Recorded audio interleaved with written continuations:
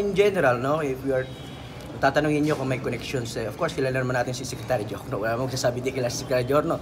Nagka, siguro, pwede na nating sabihin na CTL has, or City Leoncio has explained na earlier naman, meron silang project ni joint venture ni, ano, ni, uh, ni Arimar.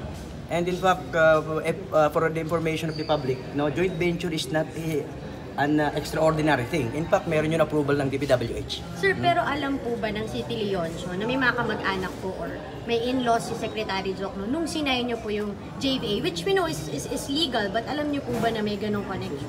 Um, City Leoncio, in considering halimbawa di uh, at first instance pa lang ipagbibid pa lang ino-consider na kasi.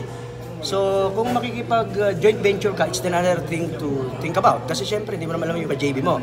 Uh, meron siyang tiwala doon sa Arimar, not necessarily dahil meron siyang connect. No? I mean, sa, sabi nga, nalaman na lang natin through through Honorable Chairman's uh, ano yun, yung kanyang privilege speech. No? So, after na lang. Yeah, oh, nalaman na, ah, doon pala. So, somehow nagkakaroon ng inkling na may connection sa CTL or City Leoncio kay Arimar and the Arimar has connection pala kay Jokno. Pero unfair naman to jump into conclusion na kaya nagka-project si CTL at si JB dahil kay Jokno. Not necessarily true kasi uh, CTL has been in Bicol region for for quite some time. Kahit wala pa naman sila Secretary Jokno is nag-join na siya sa bidding processes which is of Anong year course since anong year po sir? Uh, as far as our record uh, na nakita namin, this is since 2010.